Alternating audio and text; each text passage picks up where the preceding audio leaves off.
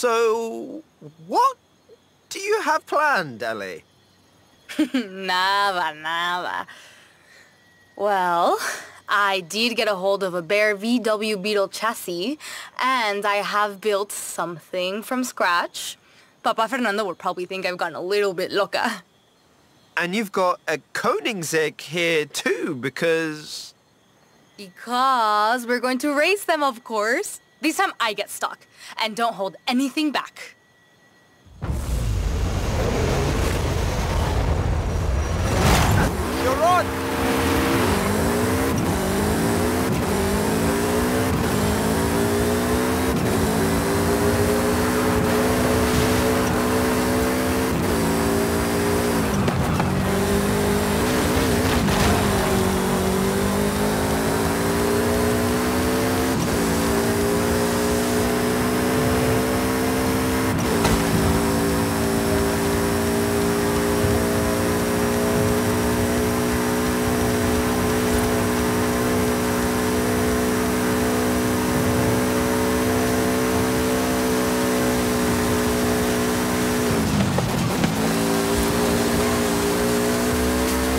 What did you think of my hypervocho? I think you set this whole thing up just so you could say Hypervocho. Maybe I did.